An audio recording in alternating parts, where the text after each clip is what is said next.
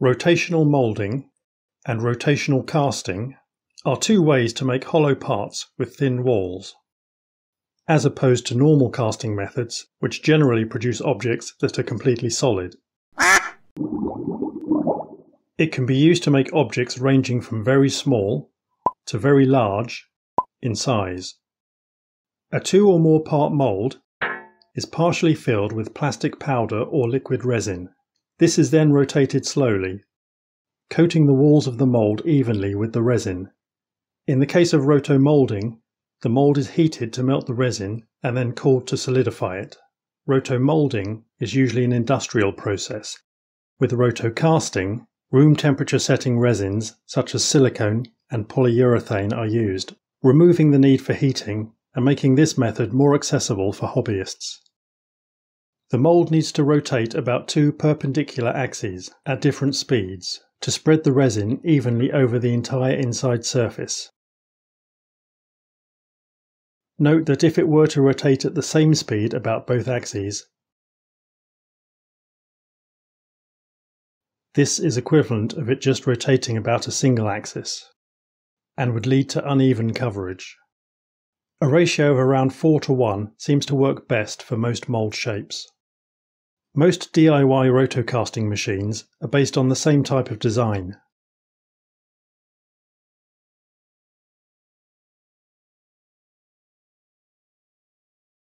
The mould sits inside a rectangular frame, which sits inside another rectangular frame, which sits inside another frame or support structure. The rotating frames are usually driven by some arrangement of gears, belts, and pulleys. Whilst there's nothing wrong with this design, it's simple and reliable, but it does take up a lot of space relative to the size of object it can make.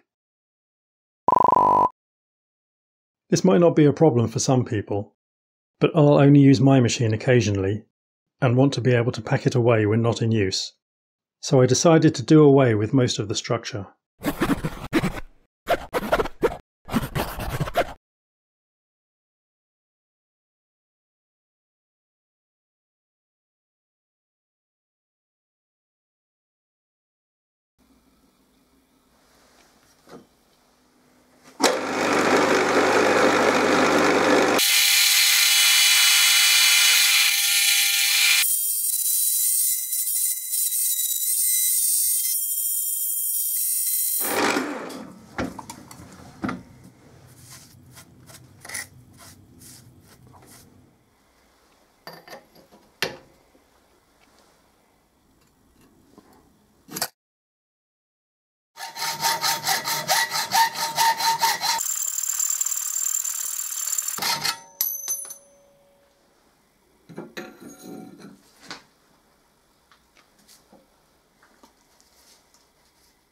Here's a welding tip for making a perfect 90 degree angle. Make it as 245s. Before welding, bend it to a perfect right angle. Weld the inside of one joint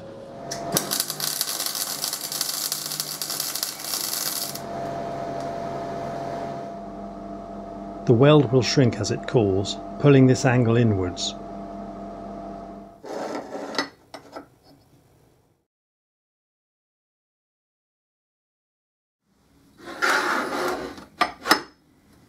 Mark how much it has moved. Flip the part over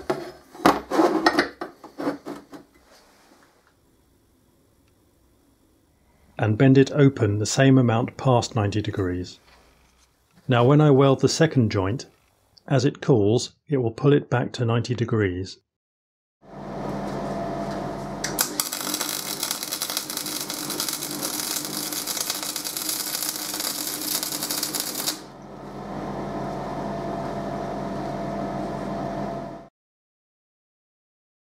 A perfect right angle. The arm will have a pivot at each end, consisting of a hub with an axle running through it supported by a pair of bearings.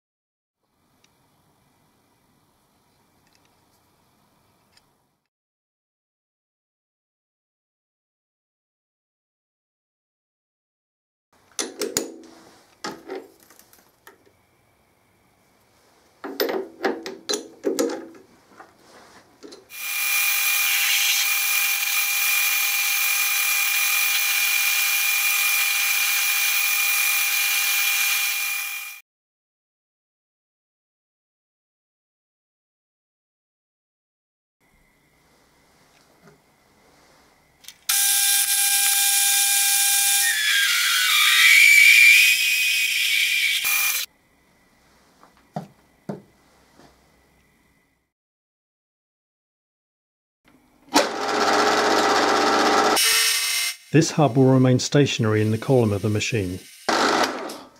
It will be held in place by bolts tightened in this slot. The other hub is attached to the far end of the arm.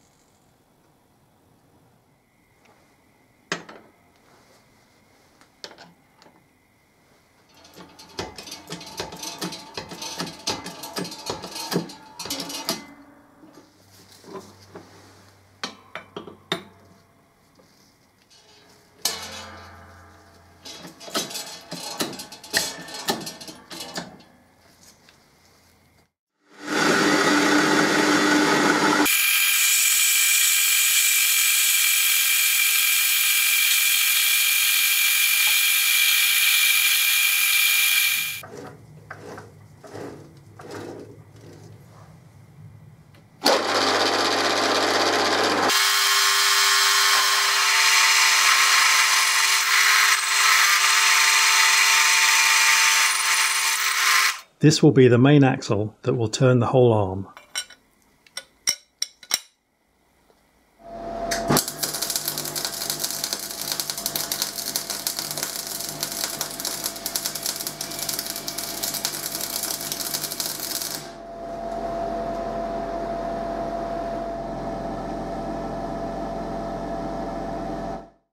At the far end of the arm will be a small faceplate to attach moulds to.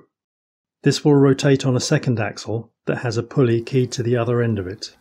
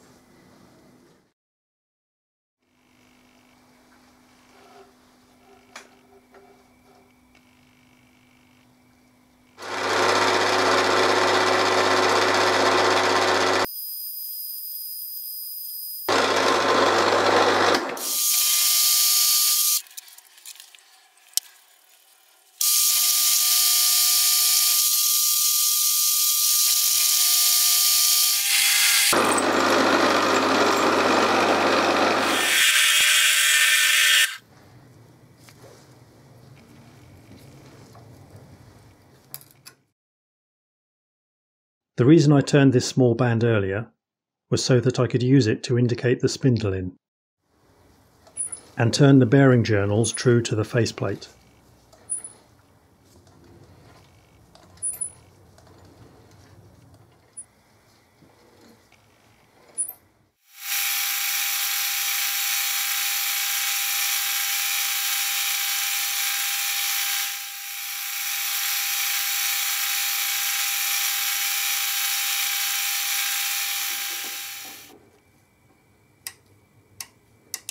The axle is turned to be a close sliding fit inside the bearing races.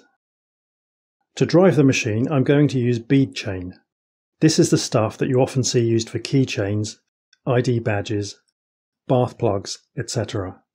The advantage of this over regular roller chain is that it will bend in any direction instead of just in one plane. This means I can run the chain around the corner using only a set of idler wheels and I don't need to use bevel gears to transmit drive through 90 degrees to the far pulley. It comes in many different sizes and is surprisingly strong. The size I'm using is 4.5mm. This is the same size that's often used for roller blinds. I will need to make a pulley to go at each end of the chain. One will need to be four times the size of the other to get the 4 to 1 ratio.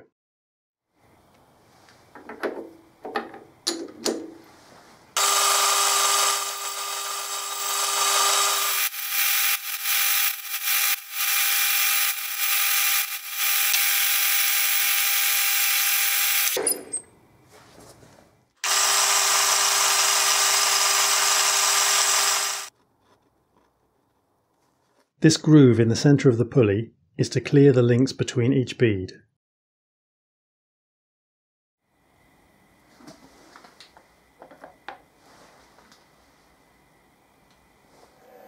I'm cutting the pulley teeth on my CNC mill. The tooth shape is very simple. It's just an arc about the centre of each bead.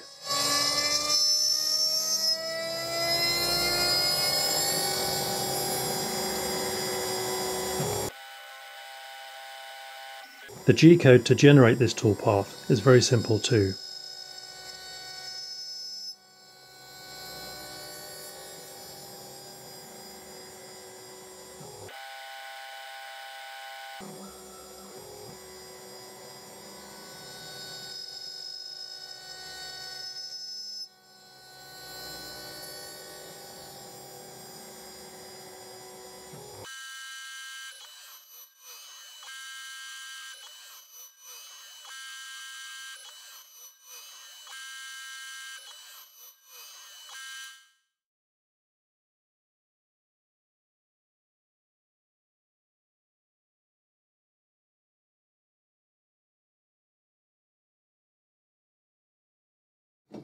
This small pulley will remain stationary and the chain will rotate around it.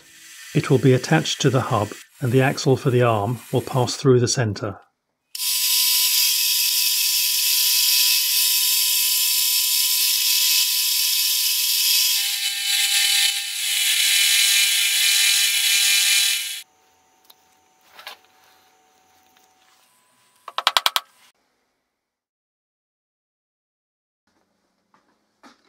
The larger pulley is made in the same way.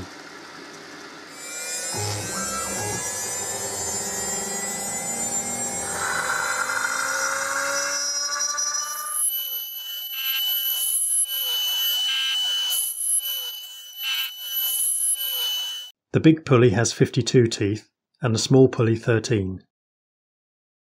Bead chain is normally joined into a loop with one of these connectors, but that poses a problem since the connector won't go around the pulleys.